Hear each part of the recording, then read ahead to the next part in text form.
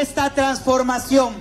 Por eso estoy seguro que la decisión de los yucatecos es mirar hacia adelante con optimismo, seguros que la dupla Andrés Manuel López Obrador, presidente, y su amigo Huacho, gobernador, vamos a sacar adelante a Yucatán, vamos a llevar a los yucatecos a un mejor futuro. Yo le quiero decir al próximo presidente que en nuestro caminar por todo el Mayap hemos encontrado miles de ciudadanos cansados de la situación que se vive y que se han ido sumando. Y yo les quiero agradecer a todos, a los médicos y trabajadores del sector salud que nos están apoyando, cansados de que este gobierno tiene un desastre en el sistema de salud, que vamos a transformar, vamos a impulsar los hospitales de Valladolid y Tizimín, de Ticuli y de Tecash, para que no todo llegue al hospital Oram, donde hoy vemos enfermos en los pasillos, en el suelo, porque no son atendidos, no les dan medicamentos por la corrupción del gobierno. En mi gobierno, a la gente de escasos recursos que llega al Oram, si necesita operación será operada, si necesita medicamentos se le darán y no a cambio de ninguna tarjeta roja o verde, de ninguna chequera. Van a tener sus medicamentos porque es obligación del gobierno atender la salud de los yucatecos. Gracias a los maestros y maestras de Yucatán que se están sumando. Soy orgullosamente hijo de una maestra. Soy docente y mi esposa Wendy aquí presente da clases en una primaria en Junucmá. Y en mi casa he visto el descontento del maestro, cómo este gobierno los ha perseguido, los ha acosado. Eso se va a acabar. Por eso cada día van más maestros uniéndose a este movimiento, porque con López Obrador va para atrás el examen. Al maestro hay que motivarlo para que pueda motivar a sus alumnos. No hay que acosarlo, hay que motivarlo para que pueda dar adecuadamente sus clases. Gracias a las mujeres, a todas las mujeres a quienes vamos a impulsar, las mujeres de Yucatán que tienen un gran talento en cada comunidad. Las mujeres necesitan créditos para ayudar a su familia, promoviendo la actividad que hacen las artesanas, las surdidoras y todas las mujeres que quieran poner autoempleo. Las vamos a apoyar también para que se acabe en Yucatán la violencia contra las mujeres. Gracias a los jóvenes, estos jóvenes que hoy nos dan ánimo al ver la recepción con la pasión y entrega hacia nuestro próximo presidente. No es posible que los hijos de los yucatecos que no entren a una universidad pública como el TEC o como la UADI se acabe su sueño de estudiar una carrera. Con ayuda del próximo presidente de México vamos a abrir más espacios universitarios y vamos a apoyar a los jóvenes para que puedan estudiar una carrera incluso en universidades privadas con apoyos educativos en el gobierno y vamos a apoyar a los emprendedores que al salir de la escuela quieran salir adelante. Gracias a todos los pescadores de Progreso y de la costa yucateca aquí presentes. Ustedes me conocen y saben que vengo de un puerto que es San Felipe. Yo viví de cerca la necesidad del pescador, esa economía cíclica que en una parte del año ganan bien y después ya no ganan lo mismo. Vamos a hacer programas para que le llegue al pescador los motores, los insumos que ahora le llegan a prestanombres de los empresarios. Hay que apoyar al verdadero pescador, al sector social, que es el que más lo necesita. Gracias a nuestros adultos mayores que saben que aquí está presente el hombre que inició las políticas sociales en favor de ellos, a nuestros amigos de la tercera edad. Gracias a todos ustedes por darnos ese respaldo. Yo les quiero contar que el día que conocí a Andrés Manuel López Obrador, encontré a un hombre con anhelos de cambiar la situación de los mexicanos. A un hombre persiguiendo un ideal, Y ese día recuerdo que me dijo, guacho, toda mi vida he perseguido el objetivo de ser presidente de México y ahora que los ciudadanos me van a dar esa oportunidad, no voy a desperdiciar ni un solo día para sacar adelante a los que menos tienen, para salir por la puerta grande como uno de los mejores presidentes de la República que jamás haya tenido México. Presidente, presidente, presidente. Amigas y amigos, hay que ir convencidos de aquí al primero de julio sin descansar a convencer a más gente de que la única opción de cambio verdadero es acabando con el bipartidismo, de aquellos que le roban el dinero a la gente en vez de dárselo en programas, de aquellos que hacen empresas fantasmas para desviar el dinero del pueblo. Vamos este primero de julio a votar por Morena, por Partido del Trabajo, por el Partido Encuentro Social para que logremos este cambio y esta transformación para Yucatán. Así lo defendimos en el debate de Antier, porque fui el único que expresó abiertamente que sí tiene candidato a la presidencia de la República. Porque para mí es un orgullo como yucateco estar con Obrador. Es un honor estar con Obrador.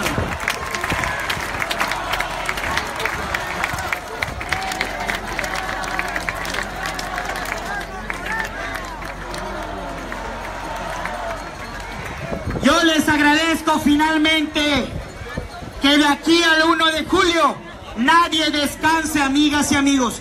No solo es ir a votar, hay que salir a convencer a más gente de que Yucatán con López Obrador y Huacho vamos a salir adelante.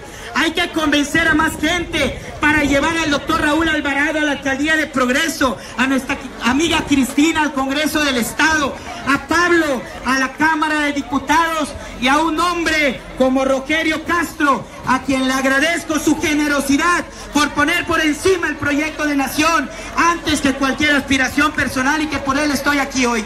Muchas gracias, Rogerio.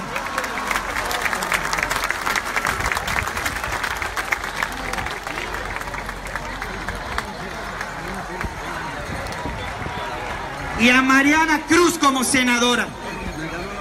Yo les quiero pedir, amigos, este primero de julio viene para Yucatán una nueva etapa. Vamos con nuestro trabajo en esta campaña a contribuir para esa transformación para México. Aquellos que están encabezando campañas negras y de miedo contra López Obrador no van a lograr su objetivo porque el pueblo ya decidió que es momento de una nueva etapa de esperanza para México y para Yucatán. Si este primero de julio todos nos levantamos como pueblo y salimos a votar, vamos a ganar la gubernatura de Yucatán y vamos a ganar la presidencia. Y ese día, el primero de julio, tú habrás sentido la satisfacción de cumplirla a tus hijos, de cumplirla a tu familia, celebrando en las calles que López Obrador ganó la presidencia de México y que Huacho ganó la gubernatura de la historia.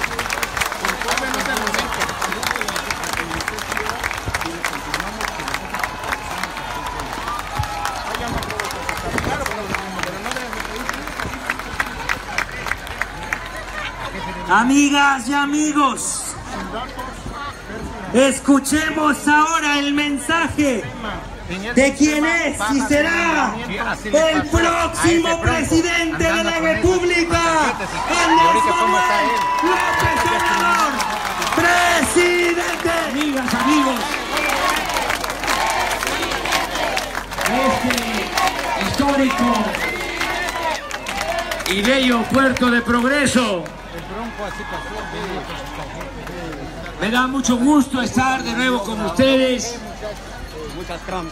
Iniciar la gira por Yucatán, aquí en progreso, que Antes era la puerta de entrada a todo Yucatán y a la península. Cuando vivir cerca del mar era vivir cerca del mundo. Por eso me da mucho gusto estar aquí en progreso. Me siento muy contento de estar con ustedes. Vamos a seguir en estos días recorriendo todo el país, haciendo reuniones como esta, asambleas informativas, porque tenemos que organizarnos bien para evitar el fraude electoral. Si nos quedamos en la Ciudad de México solo dando conferencias de prensa, pues se va a saber de nosotros, pero no vamos a tener la estructura de organización necesaria para promover y defender el voto. Una vergüenza es que en nuestro país no hay una democracia plena.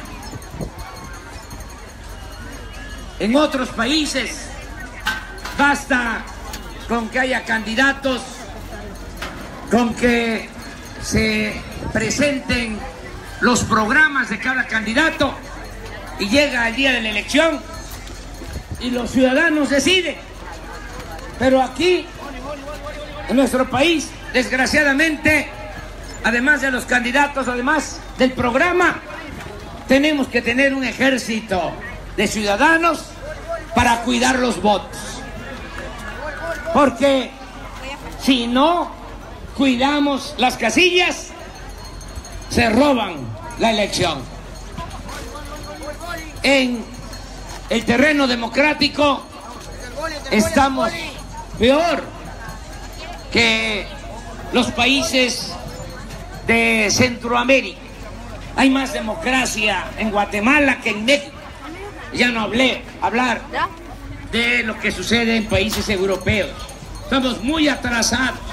Una de las cosas precisamente que vamos a dejar afianzada va a ser la democracia en los seis años.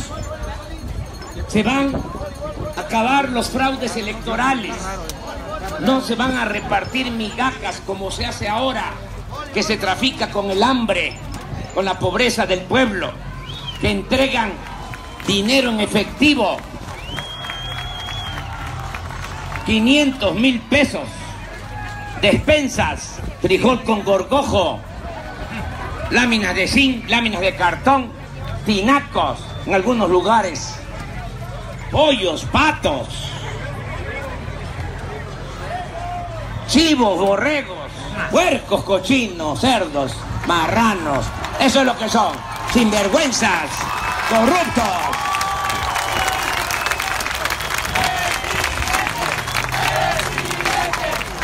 Se va a terminar como eso. Esta va a ser la última elección bajo la sospecha del fraude. Vamos a garantizar que la elección sea limpia, sea libre, que el ciudadano se manifieste con libertad y vote por el partido, por el candidato que más le convenga. Y se va a respetar la voluntad de los ciudadanos. Pero Ahora necesitamos defender los votos. Estamos muy arriba en las encuestas. Más de 20 puntos de ventaja a nivel nacional.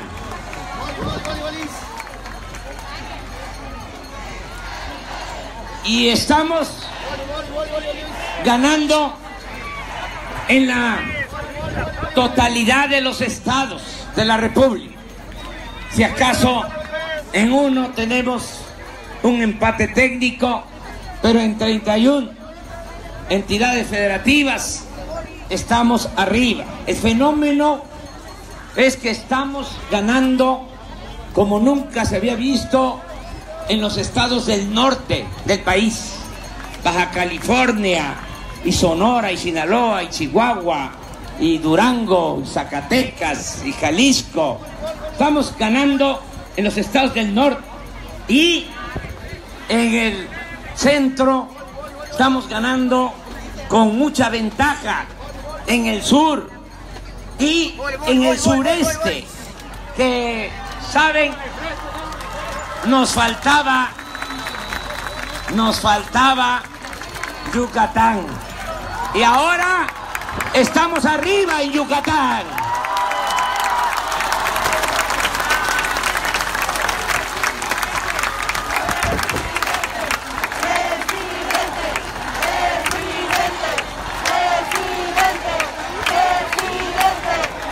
Ya en otras elecciones, dos veces en elecciones presidenciales se ganó, se ganó en Quintana Roo, se ganó Campeche, desde luego Tabasco, Chiapas, Veracruz, Oaxaca, Guerrero, todo el sureste. Pero nos quedaba Yucatán. Y ahora estoy muy contento porque estamos arriba también en Yucatán.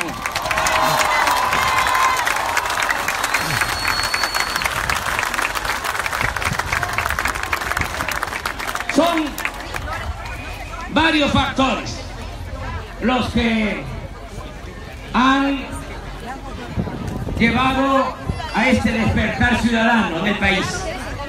Pero aquí en Yucatán nos ayuda mucho el que somos paisanos, somos del sureste. Yo tuve maestros de Yucatán en mi escuela primaria de Tepetitán, Macuspana, Tabasco. Soy de esta región del país. Ya han pasado muchos años. Miren, desde Adolfo Ruiz Cortines no se tiene un presidente de la República del Sureste. Don Adolfo Ruiz Cortines fue presidente de México de 1952 a 1958. Son, si hago bien las cuentas, 50 años. 60. Desde hace 60 años no hay un presidente del sureste. Pues ahora va a haber un presidente del sureste. Va a haber un presidente Choco Yucateco.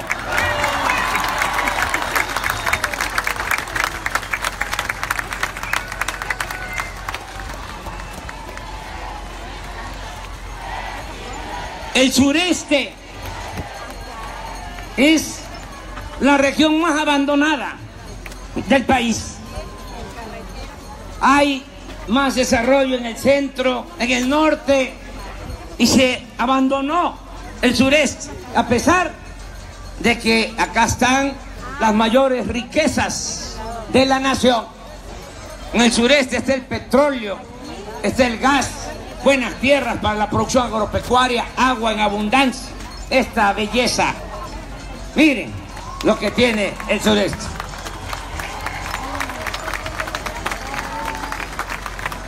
Una tradición cultural extraordinaria la cuna de la gran civilización maya en todo el sureste. Y a pesar de todos los recursos, el sureste es de las regiones con más pobreza, con más abandono en el país. Es una región rica con pueblo pobre. Pues ya va a llegar la hora del sureste.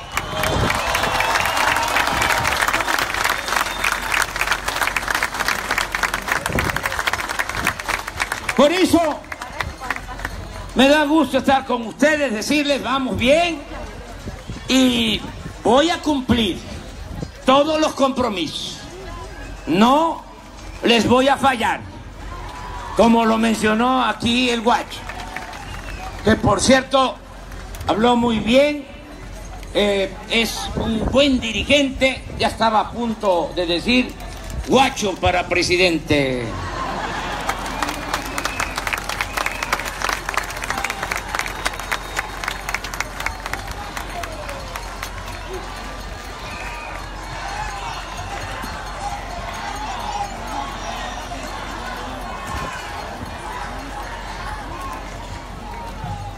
¿Cuáles son los compromisos que vamos a cumplir?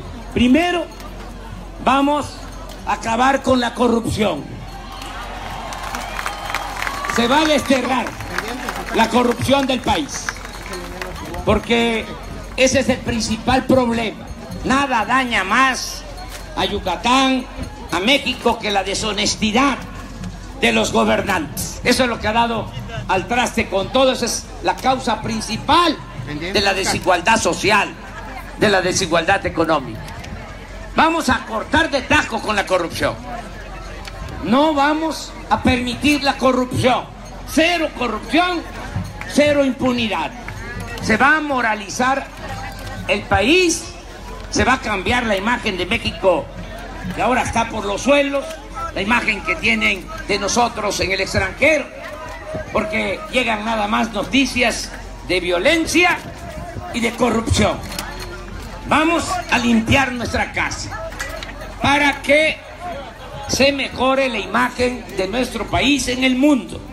Y también, y eso es lo más importante, la corrupción no solo hay que combatirla por razones de índole moral, es que si acabamos con la corrupción, vamos a liberar muchos fondos para el desarrollo es muchísimo lo que se roban los políticos corruptos, los traficantes de influencia. Yo calculo por lo bajo que se roban 500 mil millones de pesos al año. ¿Por qué menciona esta cantidad? Porque el presupuesto nacional es de 5 billones 300 mil millones. Y estoy calculando que se roban el 10% por lo bajo, 500 mil millones cada año. En esto soy moderado. El Banco Mundial calcula que los políticos corruptos y los traficantes de influencia en México se roban el 20% del presupuesto nacional. Es decir, un billón de pesos cada año. Aún con mis cálculos moderados, es muchísimo lo que se roban, 500 mil millones. No hay ninguna banda que robe tanto.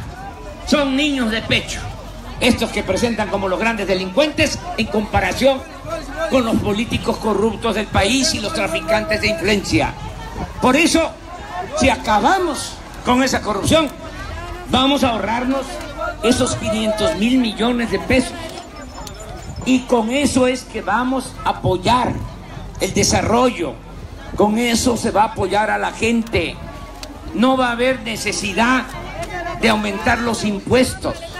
En los seis años que vamos a gobernar, no va a haber aumentos de impuestos en términos reales. No va a aumentar el IVA, no va a aumentar el impuesto sobre la renta no se va a endeudar al país, no se va a pedir prestado, no vamos a gastar más de lo que tengamos de ingresos, no van a haber gasolinazos. Y nos va a alcanzar el presupuesto, porque también vamos a reunir otra cantidad importante de dinero porque se van a acabar los privilegios. Vamos a cortar el copete de privilegios que hay en el gobierno. Ya no van a ver los sueldos que hay ahora. Los de la burocracia dorada llegan a ganar 600 mil pesos mensuales. Ministros de la Corte, senadores, diputados, 500, 400 mil pesos mensuales.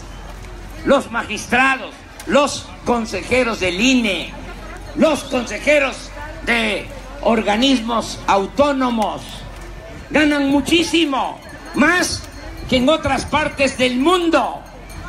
Vamos a bajar los sueldos de los altos funcionarios públicos porque vamos a aumentar los sueldos de los de abajo.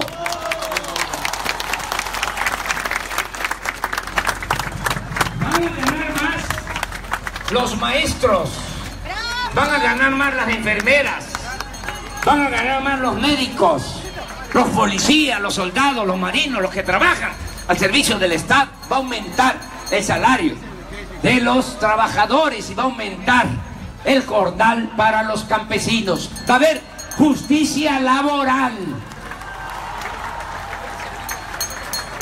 Y voy a empezar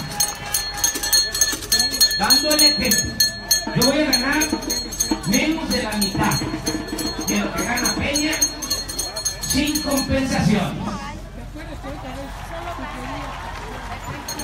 Además de que soy juarista y que Juárez decía que el funcionario tenía que aprender a vivir en la justa medianía. Además de eso, hay un artículo la Constitución empolvado que ni siquiera se sabe que existe, el 127. En ese artículo se establece de que ningún servidor público puede ganar más que el presidente de la República. Pero ese artículo se viola, porque muchos ganan más que lo que formalmente obtiene el presidente. Por eso voy a bajar el sueldo a menos de la mitad y de ahí para abajo, todos.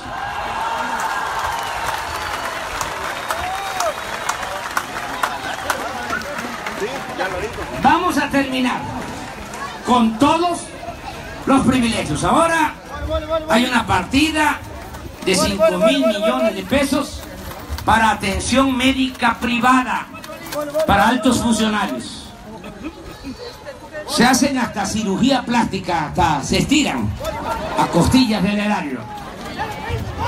Van a tener que ir al ISTE, al seguro, al seguro popular, para que vean lo que se siente. Que ni es seguro ni es popular, porque no hay ni medicinas en los centros de salud, en los hospitales. Hay una partida en el presupuesto federal de 9 mil millones de pesos, que es una caja de ahorro especial para altos funcionarios públicos. Se los explico, porque esto no se sabe. Si un funcionario gana 200 mil pesos al mes, deja de ahorro el 10%, 20 mil pesos. Y con el dinero del pueblo, dinero del presupuesto, el gobierno le aporta otros 20 mil. Es decir, ya ahorró cada mes 40 mil. Cuando se va a otro cargo, cuando termina su función, se lleva ese dinero.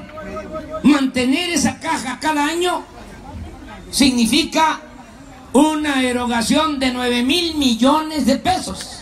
Pues esa caja se va a cancelar. Ya no va a haber esa caja de ahorro especial. No voy a vivir en Los Pinos. Voy a vivir en la casa donde vivo con mi familia, que es la casa de ustedes. Los Pinos van a pasar a formar parte del bosque de Chapultepec. Son 60 hectáreas que se van a convertir en un espacio para las artes y la cultura del pueblo. Además, esa casa, esa residencia oficial de Los Pinos, está embrujada. Ni con varias limpias salen las malas vibras. Solo se puede purificar esa casa, Los Pinos, abriendo al pueblo la entrada a Los Pinos. El pueblo puede purificarlo todo. No me voy a subir al avión presidencial. No voy a ofender al pueblo de México. Es un avión de lujo que le dejó comprado Calderón a Peña 7.500 millones de pesos. Nada más imaginen, es un avión para 280 pasajeros. En un autobús grande entran cuando mucho 50 pasajeros. Este es un avión para 280 pasajeros que no van a ir apretados como se va en el autobús, porque tiene restaurante, tiene alcobas, es un palacio para los cielos. Nada más para guardar el avión. Cuando lo trajeron, hicieron una galera. ¿Saben cuánto cobraron por el llamado hangar para el avión? Mil millones de pesos. No costó eso en realidad. Caro, caro. 500 millones, ok. Ingenieros, maestros de obras, todos hemos construido alguna vez en la historia. Saben, por muy grande que sea el galerón, porque el avión es de 25 metros de ancho por 70 de largo, cuando mucho 500 millones, no mil. Ahí se clavaron 500 millones, porque no hubo licitación como lo establece la ley. No se concursó, fue asignación directa a una de las empresas favoritas de Peña Nieto. ¿Cuándo? En Yucatán el gobierno federal ha invertido mil millones de pesos. Nunca. Y es lo que costó nada más el hangar para guardar el avión. Todo eso se va a terminar. Esos lujos no tienen que ver con un gobierno austero republicano. Vamos a vender ese avión. Ya se lo mandé a ofrecer a Donald Trump. Porque Donald Trump es muy presumido, tira aceite, pero no tiene un avión así. Si no lo quiere comprar él, se lo mandé a ofrecer porque, como dicen los abogados, hay un derecho de tanto como son vecinos, es, es al primero que se lo estamos ofreciendo. Pero luego, si no lo quiere él, no va a faltar. Quien lo quiera adquirir. Y no solo vamos a vender ese avión, vamos a vender toda la flotilla de aviones y de helicópteros del gobierno. Tienen 54 jets. Compró el gobierno de Peña 6 jets. Cada uno mil millones de pesos. Tienen 118 helicópteros.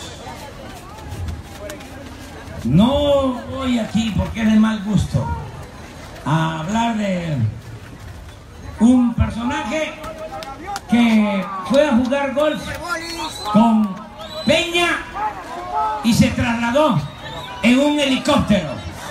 Para eso utilizan los helicópteros, como si fuese un caballo, como si fuese una bicicleta, una moto. 54 jets, 118 helicópteros. Imagínense, vamos a vender toda esa flotilla, vamos a dejar algunos helicópteros como ambulancias para el traslado de enfermos, nada más. No se van a usar para trasladar a funcionarios públicos. Y aquí, en progreso, aprovecho para insistir con el presidente Peña de manera respetuosa de que se cancele una compra que están haciendo de ocho helicópteros artillados al gobierno de Estados Unidos. Ocho helicópteros artillados para la Marina de México que cuestan 25 mil millones de pesos. Nosotros no queremos la guerra. México no debe de apostar al armamentismo. Nosotros lo que queremos es la paz. Y la paz se consigue con justicia. Que ese dinero se utilice para apoyar el desarrollo, para crear empleos, para la educación, para la salud, para el bienestar del pueblo. Vamos a seguir insistiendo en este tema Y no vamos a permitir que se sigan haciendo estos gastos onerosos, gastos superfluos que afectan el presupuesto público. Todo lo que ahorremos, todo lo que ahorremos, vamos también a quitar las pensiones a los expresidentes. Miren, no es mucho, son como 500 millones, pero, pero, eh, es un abuso, eh, es realmente una afrenta para el pueblo. Les dan a cada uno en total 5 millones de pesos mensuales de pensión. 5 millones de pesos mensuales de pensión Salinas, 5 millones de pesos mensuales de pensión Cedillo, 5 millones de pesos mensuales de pensión Calderón, 5 millones de pesos mensuales de pensión Fox. Se van a terminar esas pensiones. Ni siquiera están en la ley. No me va a costar trabajo. Porque es un acuerdo que firma el presidente que llega porque sabe que cuando termine él se va a beneficiar con la pensión millonaria. Pues yo voy a llegar a la presidencia, ya no voy a firmar ese acuerdo y se van a terminar las pensiones millonarias a los expresidentes.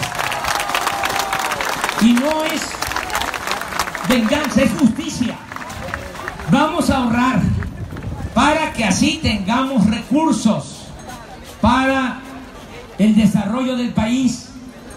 Vamos a apoyar a los productores. Con todo lo que tengamos, se va a apoyar la actividad productiva. Durante mucho tiempo no se ha apoyado a los productores, a los pescadores. Abandonó toda la actividad productiva de México. Se han dedicado los políticos corruptos a comprar todo en el extranjero. Porque ese es el negocio, ahí están los sobornos, los moches. Y resulta que compramos maíz, compramos frijol, compramos arroz, compramos carne de res, carne de cerdo, compramos leche, compramos madera, compramos gasolina. No, se produce en México. Entonces va a cambiar la política económica. Ya no vamos a estar comprando lo que consumimos. Vamos a producir en México todo lo que consumimos. Y se puede. ¿Saben dónde está el ejemplo? De que se puede. Aquí, en Yucatán. En una actividad económica. Miren, Yucatán no era autosuficiente en carne de cerdo. Se tenía que traer el cerdo de Tabasco y de otras partes. Iban canoas desde acá y de Campeche. Llevaban mercancía y traían cerdo. Luego, luego se traía el cerdo ya cuando se abre la carretera de Michoacán. Pero no era autosuficiente en Yucatán. Y se tenía que traer el cerdo. Se empezó un programa de desarrollo de la porcicultura en Yucatán hace relativamente poco, 30 años a la fecha. Y ahora no solo es autosuficiente en Yucatán, sino le vende cerdos a todos los estados del sureste. ¿Se puede o no se puede?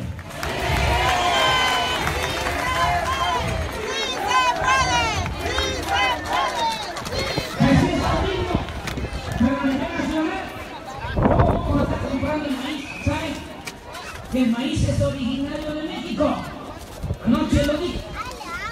Es una planta bendita porque se da en la costa, se da en los valles, se da en la sierra. Y México ahora es el país del mundo que más maíz compra al extranjero. 14 millones de toneladas al año. ¿Cómo no vamos a producir el maíz? ¿Cómo no vamos a producir los alimentos? Además es un asunto de soberanía alimentaria. Lo mismo en el caso de las gasolinas. ¿Cómo es posible que tengamos petróleo y estemos comprando las gasolinas? Es como si vendiéramos naranja y compráramos jugo de naranja. Porque desde hace seis años no se construye una nueva refinería en el país. Estados Unidos tienen 150 refinerías, nosotros seis, y las han dejado que se conviertan en chatarra. Consumimos 800 mil barriles diarios de gasolinas, se producen 200 mil barriles diarios, estamos comprando 600 mil barriles diarios de gasolina. Es un negocio que tienen los de la mafia del poder. Por eso no le dan valor agregado en México a la materia prima. Pues ya no va a ser así. Vamos a rehabilitar, a reconfigurar las seis refinerías que tenemos para que operen a toda su capacidad. Ahora están operando al 30% de su capacidad y vamos a construir dos grandes refinerías en Campeche, en Tabasco, en donde se extrae el petróleo, para que se produzcan en México las gasolinas y de esa manera podamos bajar los precios. No es posible que en Estados Unidos cueste litro de gasolina 11, 12 pesos. Acá la más barata 18 pesos. Aquí un poco menos por una situación muy especial. Pero en Campeche, en Tabasco, en Quintana Roo, es más cara la gasolina que en Mérida. De todas maneras, más de 17 pesos, la más barata. Estamos hablando de 5 pesos más por litro. El salario en Estados Unidos es 10 veces superior a lo que gana un trabajador en nuestro país. Entonces vamos a producir en México y que haya trabajo en nuestro país. También ya que estoy sobre ese tema, aprovecho para decirles que uno de los compromisos que tengo en Yucatán y en Quintana Roo es que toda esta costa, todo este litoral, no se va a entregar para la explotación petrolera.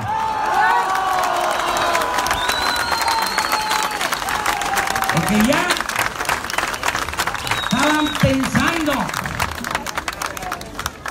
entregar toda la costa de Yucatán, de Quintana Roo. Imagínense hasta qué grado ha llegado la ambición. ¿Cómo van a destruir este paraíso con la explotación petrolera? Si lo que ha crecido en la península ha sido el turismo sin apoyo del gobierno por esta belleza, ¿cómo van a venir a expropiar, a afectar una actividad económica como el turismo? ¿Cómo se va a afectar el medio ambiente? Por eso, un compromiso es que las licitaciones de estos bloques o campos este, para la explotación petrolera se cancelen. Yo tengo que ir, tengo ya mi agenda de algunos puntos claves que voy a tratar a Enrique Peña Nieto al día siguiente de la elección, a los dos días, porque al día siguiente vamos a estar desvelados, vamos a estar celebrando. Pero a los dos días voy a ir y un tema es este, para que del el primero de julio al primero de diciembre que tomo posición, no vayan a acelerar la entrega de bienes del pueblo, de la nación, que ya se pare toda la política privatizadora. Ya eso se terminó. No vamos a seguir privatizando nada. No se va a privatizar el agua, no se va a privatizar el ISTE, no se va a privatizar el seguro. Eso ya se terminó. Ya tuvieron mucho tiempo, más de 30 años, con esa política y no ha dado resultado. Ni siquiera en términos cuantitativos ha habido crecimiento. Ahora vamos a apoyar actividades productivas, vamos a reactivar el campo, se va a apoyar la pesca, vamos todo hacerlo cuidando el medio ambiente, desarrollo sustentable, porque estos recursos naturales los tenemos que cuidar, no son nada más de nosotros, de nuestra generación, les pertenecen a las generaciones futuras, a nuestros hijos, a nuestros nietos. Y no podemos ser irresponsables y destruir eh, lo que corresponde a los que vienen detrás de nosotros. Vamos a cuidar la ecología, vamos a cuidar el medio ambiente, vamos a impulsar actividades productivas y vamos a crear empleos, se va a atender de manera especial a los jóvenes. Todos los jóvenes van a tener garantizado el derecho al estudio. Aquí Guacho lo mencionó. Ya no van a haber jóvenes rechazados porque han utilizado eso como excusa de que no pasan el examen de admisión y los rechazan. Y para que puedan estudiar los jóvenes tienen que pagar colegiatura. ¿Y de dónde saca una familia de campesinos, de pescadores, de comerciantes, de maestros, de transportistas para pagar una colegiatura de dos mil, de tres mil pesos, por muy barata que sea? No pueden estudiar los jóvenes. No va a ser así. Todos van a tener oportunidad de estudiar. 100% de inscripción a todos los jóvenes. Y si no nos alcanzan los espacios en las escuelas públicas, van a ir a las escuelas privadas, porque van a haber becas para todos los estudiantes de preparatoria, van a tener beca mensual. Y los estudiantes que cursen en el nivel superior, en las universidades, van a tener una beca mensual de 2.400 pesos mensuales. Una beca de 2.400 pesos para estudiantes de familias de escasos recursos económicos. No se va a quedar un joven sin la oportunidad de estudiar. Y el que no esté estudiando y quiera trabajar, va a ser contratado. Se les va a dar trabajo a los jóvenes. Van a estar como aprendices en talleres, en empresas, en comercios y se les va a pagar un sueldo de 3.600 pesos mensuales. Mientras se capacitan, se van formando, van a ser, repito, aprendices. Todos los jóvenes van a tener garantizado el derecho al estudio, al trabajo. Lo resumo en una frase. Becarios, sí. Sicarios, no.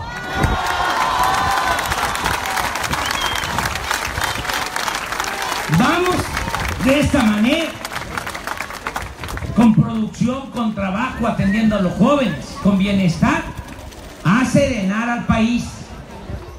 Yucatán tiene una situación, lo dije la vez pasada, muy especial, que tienen que cuidar, que tenemos que cuidar todos.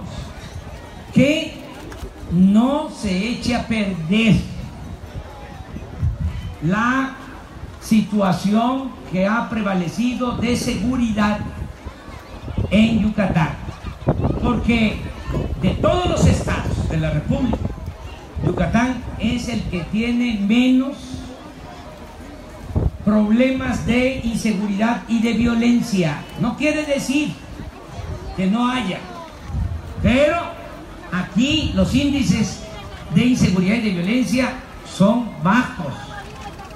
Que cuidar eso, porque si eso se descuida, se vienen muchos males, se afecta la economía, se ahuyenta la inversión, se ahuyenta el turismo.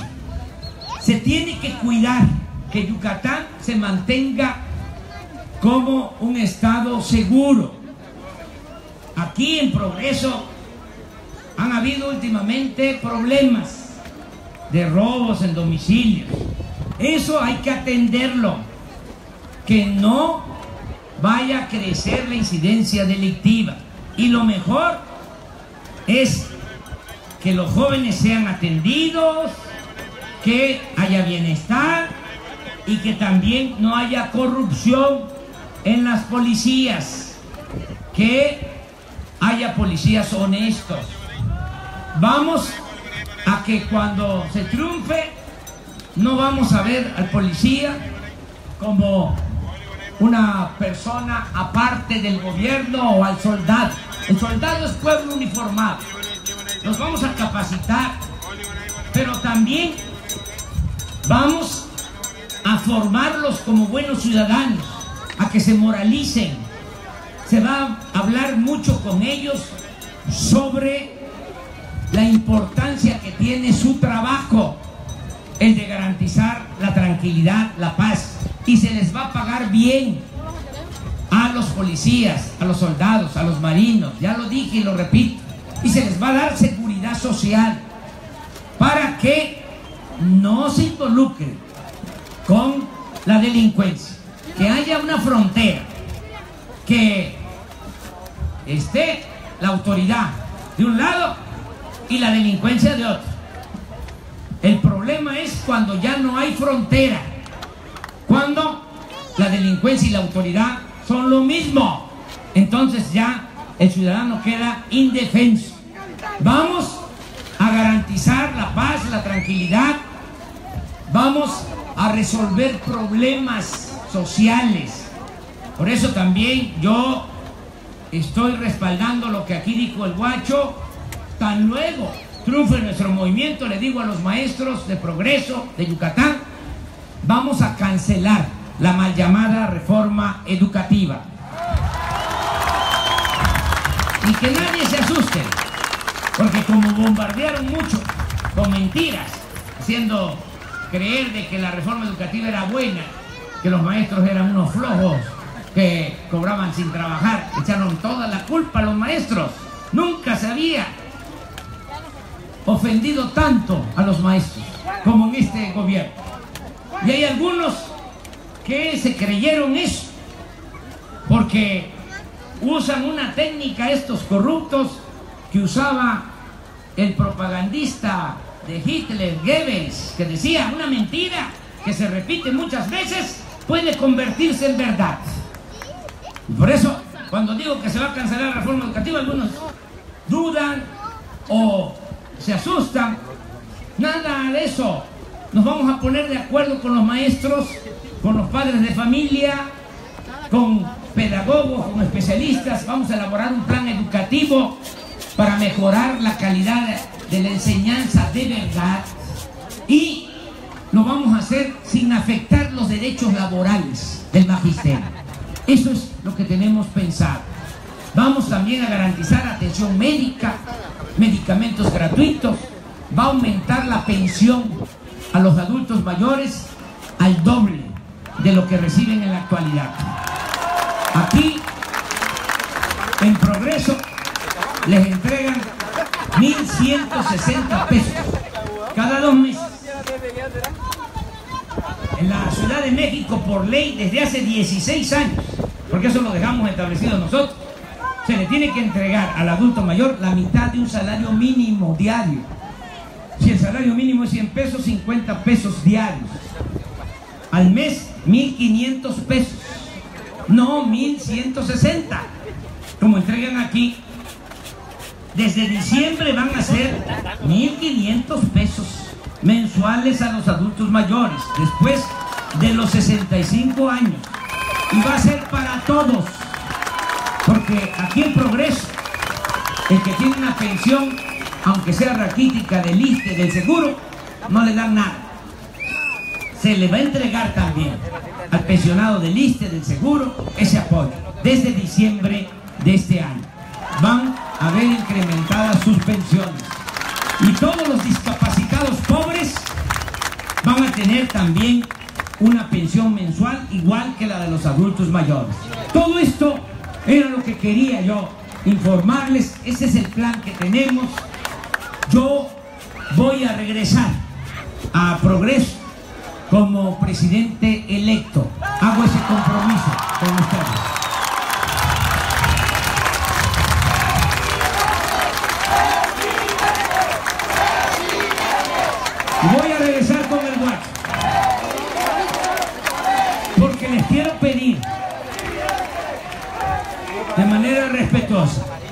Que se vote por pareja. Nada de voto diferencial. Si me van a dar el apoyo, que sea completo. Completo. ¿Saben que no es un voto por un candidato, es un voto para transformar al país. Cuando tengan las boletas, piensen en eso. Casi sin ver quién es el candidato, es votar por la transformación. ¿Cómo va a ser esta elección? ¿Es cambio sí o cambio no? Entonces, si es cambio sí, vámonos a la transformación. Yo quiero regresar para presentarles el programa de desarrollo. Antes de tomar posición, el programa de desarrollo que se va a aplicar aquí en Progreso y en toda esta región de Yucatán. Pero voy a venir aquí con ustedes. Les voy a decir, esto es lo que les corresponde del presupuesto federal. En actividades productivas, esto es para los pescadores, esto es para los agricultores, esto es para ganaderos, esto es para comerciantes, esto es para pequeños, medianos empresarios, esto es para los estudiantes, esto es para la educación, esto es para la salud, esto es para el bienestar. Programa integral. Y voy a estar visitando Progreso periódicamente para evaluar, para darle seguimiento a ese programa y que se cumpla todo. No va a haber divorcio. No es que ya ganamos nosotros a gobernar y ustedes a sus tareas. No nos vamos a divorciar. Va a ser un gobierno del pueblo, para el pueblo y con el pueblo.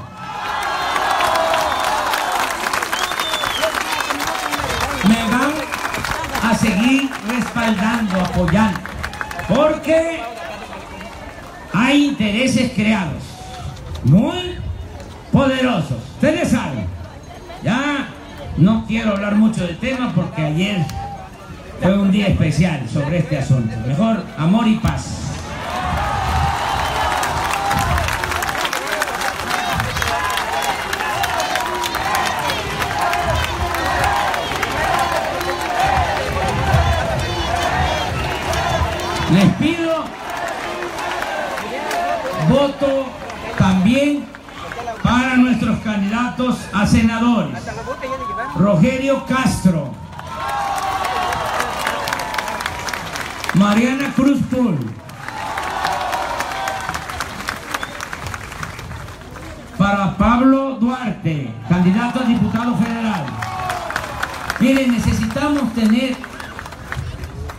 Presidencia, la gobernatura y también la mayoría en el Congreso.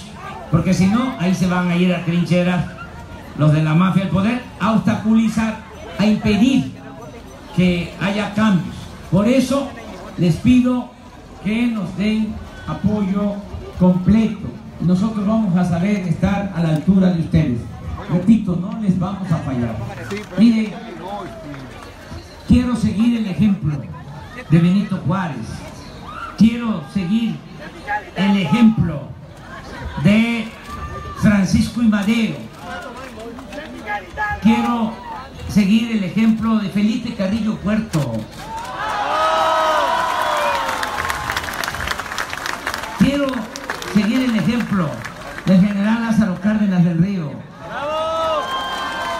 No quiero pasar a la historia como un presidente mediocre. No quiero ser como Santana, no quiero ser como Porfirio Díaz, no quiero ser como el chacal Victoriano Huerta, no quiero ser como Carlos Salinas, ni como Fox, ni como Calderón, ni como Peña Nieto.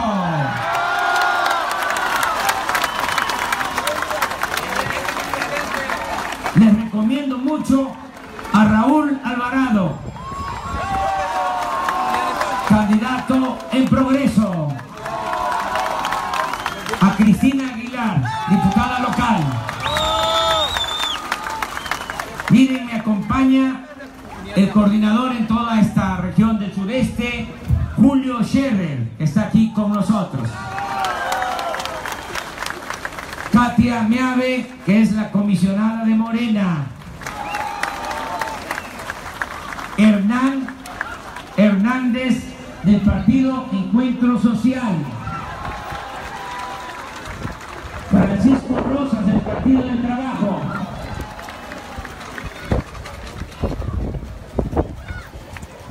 Eleonay Contreras, de Morena. Me acompaña la que va a ser la próxima secretaria del Medio Ambiente del Gobierno Federal, Josefa González Blanco, aquí con nosotros. Es que vamos a descentralizar todo el gobierno federal, el gobierno autónomo nacional México, oficinas.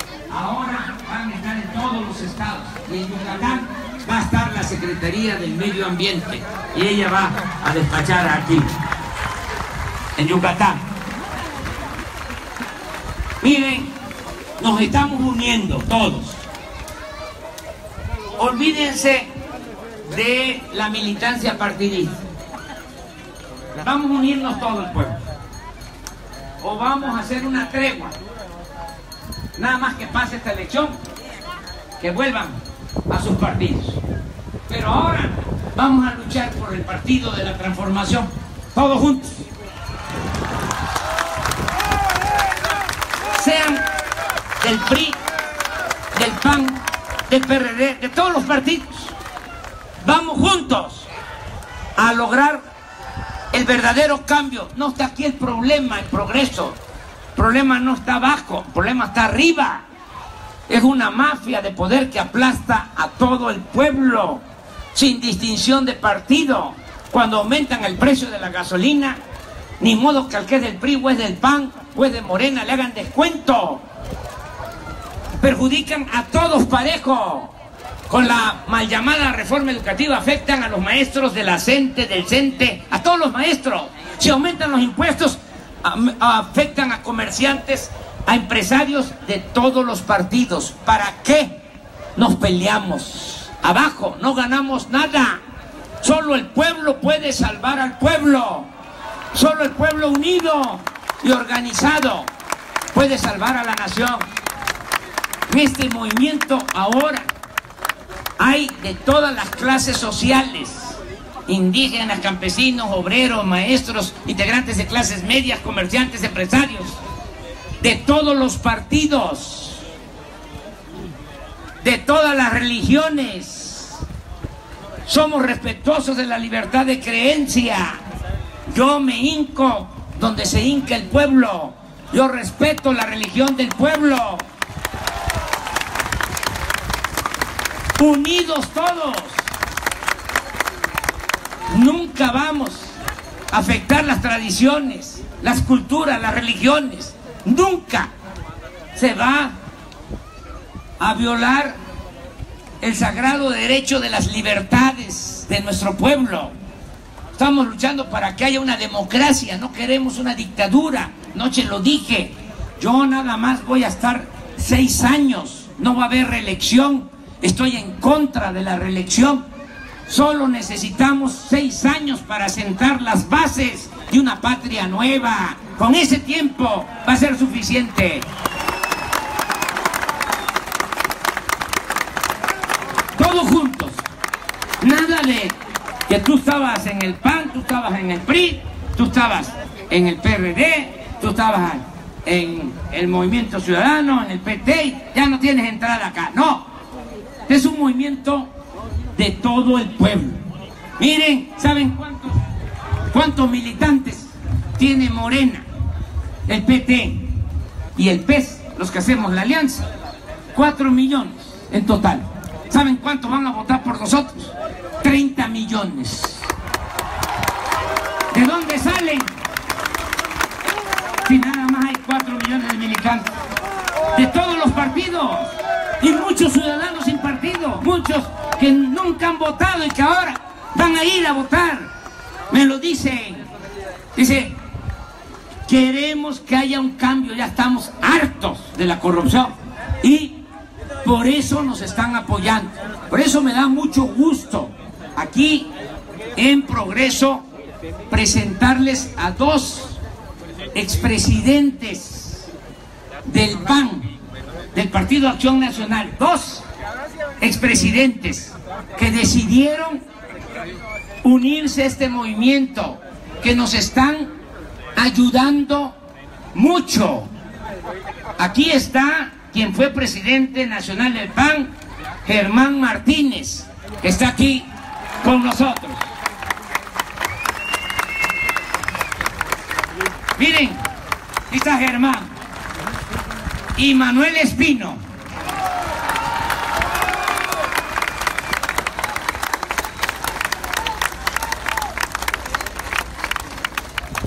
Los dos nos están apoyando. Y muchos panistas se están uniendo a esta causa también, muchos priistas.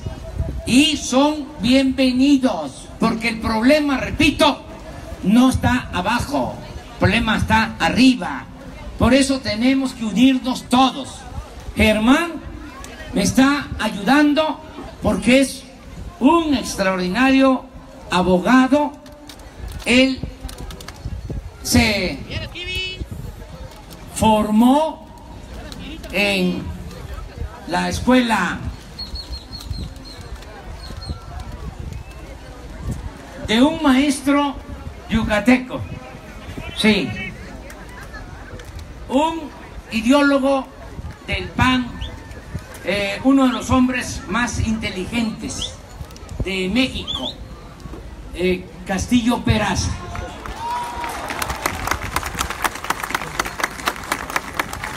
Que se salió del PAN. Sí, él fue maestro de Germán y yo conocí a Castillo Peraza. Hoy vi una foto de como 1989, no había todavía estas canitas. Este, eh, que lo fui a ver al Congreso, estábamos ahí juntos. Hoy voy a, a tratar de publicar esa, esa foto. Este, también en homenaje a este hombre que tenía eh, un pensamiento eh, democrático, no coincidíamos en todo, pero era un hombre que inspiraba respeto, el maestro de Germán, Castillo Peraza, yucateco. Entonces por eso invité a Germán aquí. Nos está ayudando Germán para todo lo que tiene que ver con la defensa del voto, con todo lo electoral. Nos está apoyando. Y está aquí también Manuel Espino, que él estuvo de presidente del PAN, ahora tiene una organización ciudadana de muchos mexicanos de varios sectores que están buscando el cambio a nivel nacional, que decidieron en una asamblea democrática, votaron y decidieron unirse al movimiento y son bienvenidos aquí con nosotros. Ruta 5. Pero además, yo quiero aquí también el progreso eh, informar a los medios de comunicación del país que Manuel Espino va a pasar a formar parte de la campaña y va a ayudarnos en la coordinación con las organizaciones sociales y civiles. Él va a estar ayudándonos de esta manera. Coordinador de organizaciones sociales y civiles para que se siga consolidando nuestro movimiento. Dio mucho gusto, mucho gusto estar aquí con ustedes. Miren que este, lo consideran, tardé mucho, pero ¿por qué no escuchamos a Manuel que nos dé un saludo? Gracias, Andrés Manuel. Muchísimas gracias a todas y a todos ustedes por la oportunidad de convivir en este breve lapso de tiempo para respaldar a quien sin duda será no solamente presidente de la República, será el mejor presidente de México, Andrés Manuel López Obrador. Ya él lo ha comunicado y así lo vamos a hacer. En Ruta 5, en todo el país, estaremos promoviendo la adhesión de líderes sociales, de organizaciones comunitarias dedicadas a todas las tareas sociales de México para asegurarnos no solamente de sepultar con votos la corrupción, sino de garantizar el mayor